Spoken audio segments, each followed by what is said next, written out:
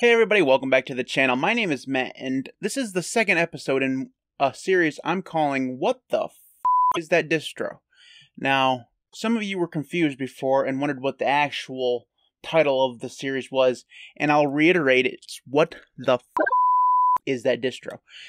Now, I can't say that as well as, say, Samuel L. Jackson could say it, but what are you going to do? So, in this series, I find distributions that I've never heard of before, I install them, and I roast them. Or if they're good, I applaud them for existing. Most of the time, I roast them. So today's distribution is called Blue Star Linux. Now, if you have never heard of Blue Star Linux, I don't blame you because I've never heard of Blue Star Linux either.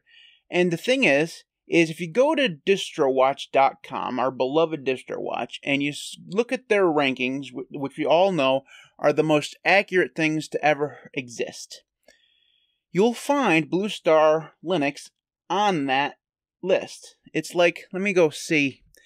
Let's go ahead and go look at DistroWatch right now. We'll go. We'll come back to this page here in a minute. But if we if we zoom in here and scroll down a bit, we'll see Blue Star is actually at number 39. So it's in the top 40. It's above things like Peppermint and Ubuntu and Void and GhostBSD and Bodhi, all things that are really, really good. And Gecko Linux, which is awesome based on OpenSUSE. I've never heard of Blue Star Linux before, so I was looking through this list. I was like, you know, most of these things I've heard of before, like Rocky and Mageia and Sparky Linux and Q4OS and you know, I've heard of all these things before and tried many of them, and they're all, you know, varying levels of good.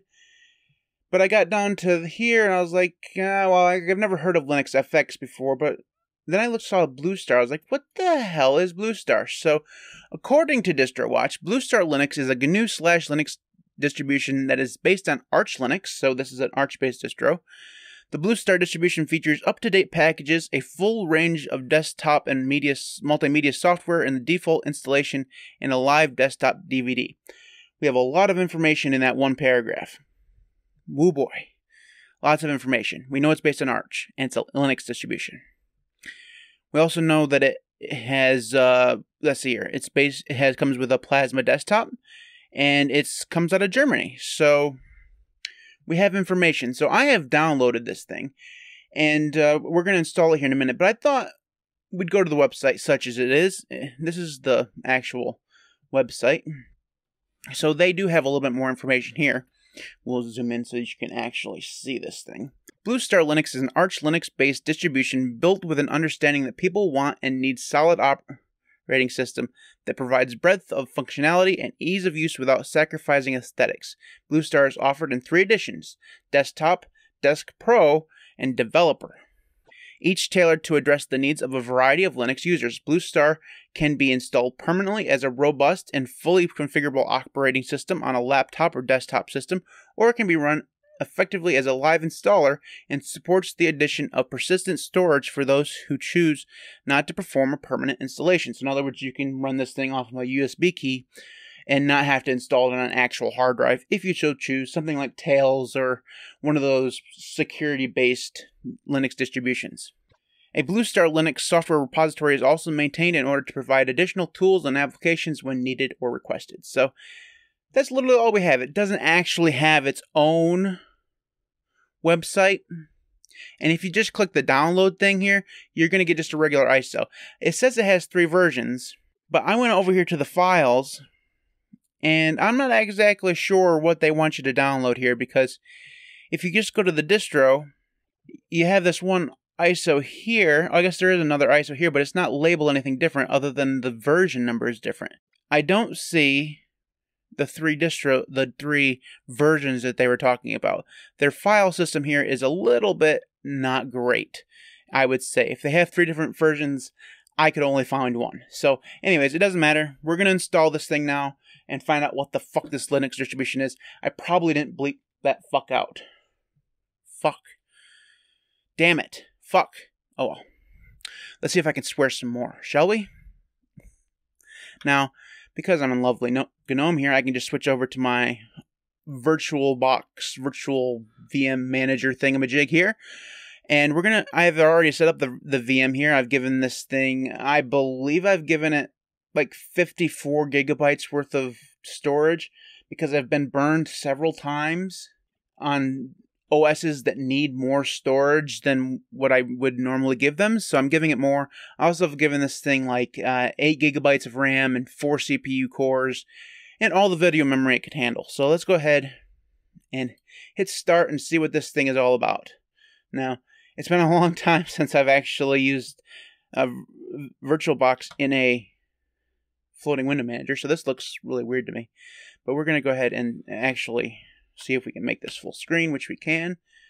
And we're waiting 10 seconds for our device here. Hopefully this loads right the first time. If this doesn't actually load and we can't install the damn thing, then this episode is going to end prematurely. And I'll be swearing up a storm because I've been planning this episode for a while because I haven't actually installed this this distribution yet. Uh, this is completely new for me. I have a like a tooltip there. It went away. Good. So we have a, a cursor and we have a splash screen. So that's good. Uh, interesting choice of background. Other than that, that just looks like the standard KDE Plasma splash screen. This definitely does look interesting uh, because normally on a KDE Plasma desktop, we don't get, you know, it just looks like a KDE Plasma desktop. You know, it has the bar along the bottom, it looks like Windows. This is different, so I'll judge it once I've installed it, but so far, kind of cool. Auto hide on that bar up there. And let's see here. Your display resolution has changed. The look and feel theme you're using is Blue Star Linux Abstract Color. Would you like to reset your desktop layout, scale to the new resolution? Sure. Okay. Interesting. Okay, so it made the bar bigger. Alright, so let's see here. What if we want to install... Oh, we got the install thing right here. Alright, so this is the Calamares installer. Okay, so here's where we're going to get to choose which version of the Blue Star installation we want to use. Uh, I'm going to choose desktop, but oddly, they don't really tell you what the difference is between these. Even on their website, there was no, hey, this is what you get if you install this one, this is what you get install this one, this is what you get, uh, you know, install this one. Weird. For the basic, it says here, for the basic installation without internet access, disable your internet connection and restart the installer. This may prevent issues with DVD-based installation, okay? So you can install this without the internet, which is nice. Other than that, I think I'm just going to go ahead and hit next. And that time zone is fine. That keyboard is fine. And we're going to just go ahead and erase the disk. We don't need a swap here. That doesn't really matter. It's installing on the right hard drive because there is only one hard drive in this VM. And then we're going to give it our credentials. So my name is Matt. The name to log in is Matt. We can name this Blue Star OS thing. And we'll give it a very strong and complicated password. Much stronger than anybody else's password ever has been.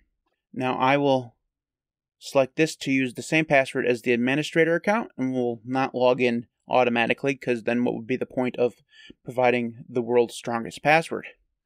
We'll hit next Ooh, what's this? So this, please choose a look and feel for the KDE Plasma desktop. Why would they have you choose the look and feel before you do the installation? Why not after? Weird. Uh, you get multiple choices. Which one do we want to choose? Now, this one here, right here, is that we're using right now is the the default. I have to say I'm not that impressed with it. I don't care for this color scheme. So let's choose a different one. Let's choose this one here.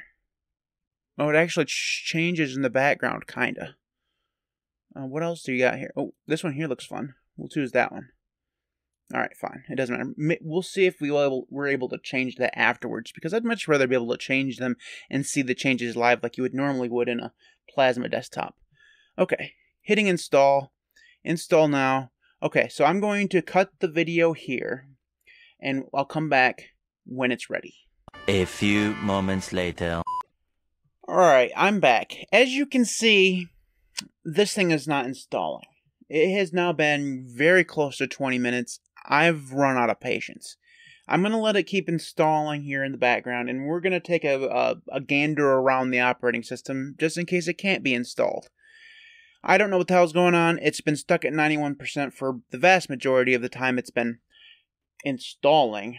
And uh, I don't know what's going on. Uh, it did open up the system update thing over here where it showed some progress, but it's been on 19 out of 19 for ages and ages. And um, yeah, it's just stuck there. Now, I have half a mind to go through and just restart it and see if it will try, you know, try again. Uh, and maybe I will. I'm thinking about it. What should I do this? Oh, I hate when things go wrong. You want to? Fine. Oh, wait a minute. Hold on a second. Something else came up. Huh? Maybe I had to close that all the. Maybe the whole thing is I had to go through and close that in order to get to proceed. That'd be hilarious. Because I would have just been sitting there forever and ever. Um, we'll see if this makes any progress now. Okay. So after a further five or six minutes and letting it go through installing even more packages, that did seem to be the problem, is that I had to close that window in order to get to actually proceed. Uh, zero instructions on whether or not you, uh, you know, to tell you you had to do that. You just had to, you know, figure that out yourself. So I could have been sitting there for hours on end expecting it to eventually finish, and uh, granted, I would have never actually done that. I lost my patience after 20 minutes, so there was no way I was actually going to sit there for an hour, but. Okay, so uh, first impressions of the installing of Blue Star OS, that was crap. Uh, is a very well rounded, well defined, well refined installer. There's a proper way of doing it. There's a reason why every distribution out there, except for like the Ubuntu based distros, and even half of them use it. You know, there's a reason why so many distributions use Calamares is because it's good. You know, you don't have to change it to the point where you have to bring up pop ups to outside programs in order to install stuff. This is. That's. Why? don't mess with something that works, okay? Just don't. All right, so what I'm going to do is I'm going to go ahead and hit the restart system and see if it will go through and remove the installation media itself. If not, we'll do that for for it, but sometimes it does, sometimes it doesn't. We'll see how this goes. And uh, let's see here. So I think it's just trying to do the, the live one. So we're going to go ahead and do this. And we'll see what the startup time looks like. And oh boy that is a very unthemed SDDM. Okay, so we're going to type in our username and our very strong and complicated password and enter here. And we get we're going to go ahead and wait for Plasma to load up. Very pretty background. Much this is a much better looking background than the default one, at least in my opinion. Oh, here we go. All right, so the all right, good. And we can go ahead. Yes. That way the resolution is proper. Okay, so we have a conky here along the side, and this we know this is a conky because you can't move them. We have a like a file manager slash number of icons here at the at the uh, on the top left. Uh, not necessarily something I would do in my desktop, but whatever. We also have this big honking icon here. It says "Please donate." I'm not, you know, whoa! It even gets bigger. okay, I don't really have anything wrong with that, but it's weird that it's not, you know, like side aligned or something. It's weird that it's right in the middle. Anyways, we also have the weather over here at the, at the on the side, and if we hover over that, we actually get some more weather. Okay, so this is Blue Star Linux. So along the top here, we have a regular plasma bar with a with a time and uh, a standard drop down menu, which you can hardly see because of that transparency. I like transparency, but a little bit less transparency there probably would be good in order to actually be able to see it. And then we have a little bit of a system tray up here at the top. Most of the icons that you normally get with Plasma seem to be missing, so that's something you'd have to decide whether or not you wanted to fix. And we have a calculator icon at the top, because a calculator is what we all need in life. Okay, so here along the bottom we have what looks like Latte Dock, which it is Latte, Do- Latte Dock. And we have Pin, Dolphin, Console, uh, GIMP, VLC, LibreOffice Writer. FileZilla is installed apparently by default. Thunderbird, Firefox, Chromium, Pidgin, and Transmission Qt, and System Settings. So first we'll go to Console here. And uh, the one thing I hate about console is that it, it really, really, a lot of times opens up in weird dimensions. So what we're going to do is zoom in here, and we'll do uname dash a first. We do have a neofetch up here, so we can see that this is um, using 5.14, so I guess I don't really have to do uname. And um, kwin, kde, and 1700 packages by default. That's quite high for a uh, Arch-based distro, so that means they're installing quite a lot of programs. We'll take a look at that here in a few minutes. And um, let's see here. It's using just the standard Arch uh, icon here. So we'll go ahead and try you uh, uname. It won't hurt anything. Uh, 5.14.9, that's just, just a regular Arch based uh, kernel. And we'll do free dash M. This is a plasma one, so I wouldn't expect me using too much. Actually, that's quite high. Wow. Uh, plasma is usually around 600, so this is quite a bit more than normal. This is more in GNOME levels. Uh, I'm quite shocked to see that. So that means they have quite a bit of stuff running behind. So let's go ahead and clear this and see if HTOP is installed. It is. Okay, so in terms of memory usage, Plasma is using the most of it in Latte Dock. So my guess is the reason why is because they have a ton of stuff on the desktop that you n- normal Plasma desktops don't have out of the box. So we have 92 tasks, 195 threads, and uh, we're using 1.21 gigabytes of RAM right now. Now that uh, HTOP is running. Okay, so that's a little high. We can close. We can close that. So let's go ahead and take a look and see what all this installs. So, so far it looks like a very bloated Arch install, and, there's nothing wrong with that. Um, out of the box, Arco Linux is very bloated as well, but the difference is during the Arco Linux install, you get a choice of a ton of different software. You can go through and choose a lot of what you have installed out of the box. This just installed the stuff, so let's go ahead and, like I said, see what they have in terms of stuff installed. Unfortunately, the trans the transparency here is just going to be a pain in the ass. So, in development, we have tr- uh, translation, Akonadi, console, CMake, Cuttlefish, ghex. Wow, a lot of the stuff here. See, remember, we did not choose the developer edition. As far as I'm pretty sure, I just chose the basic one. So we shouldn't get all this developer stuff, but we do. I'm not even going to read the rest of the stuff because we're. I mean, wow, Kompare's there too. That's a, a like a Qt version of Meld, I believe.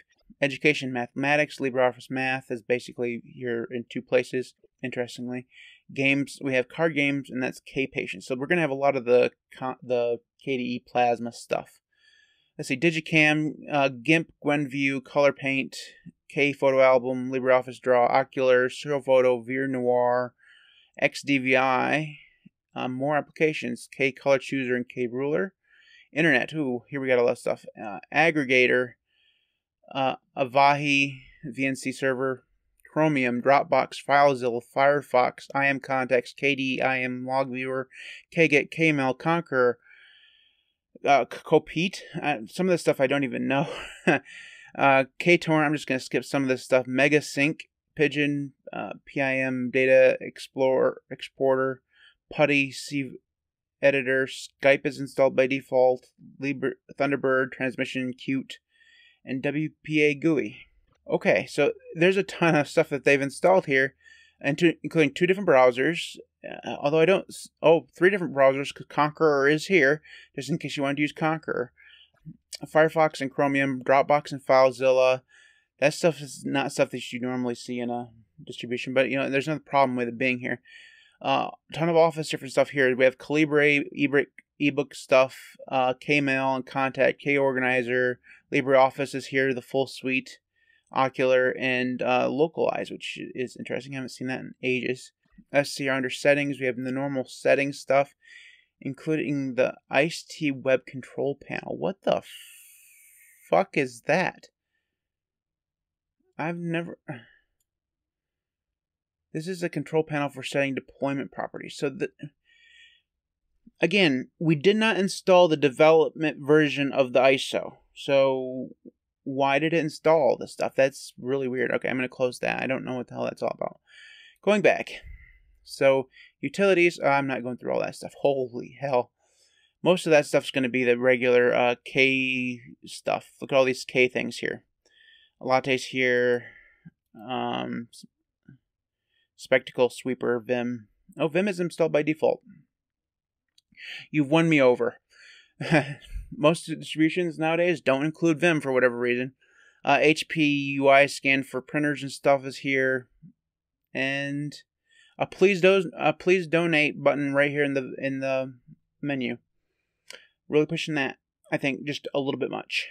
I'm surprised it's not also in the dock. I'm just saying. Okay, so that that's the uh, a brief overview of the number of applications you see installed. And now we can see why it took so long because there's quite a lot there. So let's see here. Let's take a look at the system settings. So by default, we get this theme here. And this theme here is, it's not very good looking, if you just ask me. Because this is, I mean, what's interesting is they had us choose the look and feel there before the installation was in. But we have, I've seen nothing of that here. There was no welcome app, nothing like that. So there's, you know, nothing we can change here. Now we can see if they have those apps or those themes pre-installed. So we can go through to through to appearance and they do have those things pre-installed. So we can actually change to a couple different ones and see what they look like. See if there's anything different. We'll just apply this. The answer to that is no. They all are exactly the same, or at least those two have been exactly the same. I mean, we can close, we can, uh, usually Plasma's pretty good at changing this stuff live. And we'll try to try another one. Like this one here should be a different one here. And so we'll open up Dolphin again. And no, it looks exactly the same. Okay, so what the point of these themes are, I'm not exactly sure why they're not changing. Maybe there's literally nothing different. Choose this one here. Again, nothing there appears to have changed at all. I mean, usually Plasma is really good at changing things live, and, and in fact, we'll choose one that we know is completely different. So we'll just choose Breeze, and we'll apply this. Yeah, that worked fine. Uh, application style, we'll go back here and choose Breeze as well. If we if we go open up Dolphin now, yeah, even if the the the window decorations didn't change, that's just because uh, they, we probably have to change them somewhere else here in plasma style. No, it looks like it should have changed, but it doesn't matter. So all the themes that they come pre-installed are all apparently exactly the same, eh, which is makes me wonder why they you know install. I'm assuming what is supposed to change is the background, but the system settings won't change the background with the theme. You have to change that manually. So that's just a little weird. Anyways, uh, other than that, this looks like a standard KDE Plasma install. I'm assuming that this is the most up-to-date version of Plasma, which it is. And, because uh, this is basically Arch, so we should get, I mean, it's literally reading it as Arch Linux. That's, it, so they haven't done any branding at all. They've installed their themes and stun, installed a ton of software and fucked around with the the Calamares installer, and that's what they seem to have done and somehow made uh, plasma so that it runs a ton a ton hotter in terms of memory than what it normally does. I don't know exactly what it is that's causing plasma here to use so much memory, but normally it does not do that. Um, I don't know if it's this weird theme that they have installed or if it's the Conky that they have on the desktop. I don't know. We did get that to change, interestingly enough. Okay, so maybe those aren't actually yeah, those aren't. That is not Conky. That that those are actual widgets from KDE Plasma. Interesting. I've never actually used those things because I don't want those things on my desktop. But whatever. Okay, so all right. There's not much here more that I can say. Uh, so the answer to the question, what the fuck is Blue Star Linux? The answer to the, the question is that it's Arch Linux with a bunch of cruft on top of it. And the, the reason why it would exist, I couldn't really tell you if you're interested in an Arch based distro that has a ton of uh, stuff Arco is probably a better choice for you. Garuda is also a good choice. Endeavour is a good choice. Those are all Arch based distros that come with a lot of options, and you can go through and customize what you install before you install it. Whereas this just installs a bunch of stuff that you may not need. And uh, the fact that it didn't really follow, it'd be interesting to see, and I'm not going to do this because I don't have that kind of time. Interesting to see what the developer version actually comes with because if this has so much in terms of developer tools already installed, I wonder what the development version has. Uh, because you would assume that it would have more development stuff because it's for developers. I don't know. It's uh, it's weird. Uh, I'm all for people making their own, you know, Linux distros. I think it's a good thing to do. I don't really even argue that all distros have to have a purpose in order to exist. Sometimes people just make distros on a lark for a hobby or something, and that's perfectly fine. They're making it for themselves. And that's okay. What I question is why this is so far up in DistroWatch's, you know, rankings. I mean, now we all know. I mean, I made the joke earlier, but DistroWatch's rankings aren't accurate. This is not the 39th most popular distribution ever. Uh, we know that. Uh, so either the developers out there has a bot that keeps visiting their page in order to keep that ranking high, or there are actually people out there installing this thing. So in the comments below, let me know if you've heard of Blue Star Linux. Let me know if you've installed it, because I would love to know the reason why you've chose it. So that is it for this video. If you'd like to see more of this series, leave a like, leave a comment, subscribe to the channel. We're getting very, very close to 5,000 subscribers. I'm, I'm just, that blows my fucking mind. It really, really does. Thanks everybody who has subscribed. Those of you who haven't, please do so. I really do appreciate it. You can also follow me on Twitter at LinuxCast, and you can support me on Patreon at patreon.com slash LinuxCast. Before I go, I'd like to take a moment to thank my current patrons. Devon Chris, East Coast Web, Gentoo is fun too. Patrick L, Marcus, Maeglin, Sven, Jackson, Knife and Tools, Steve A, Mitchel, Art Center, Marek, Camp, Joshua Lee, JDawg, and the BSD's Rock. Thanks everybody for watching. I'll see you next time.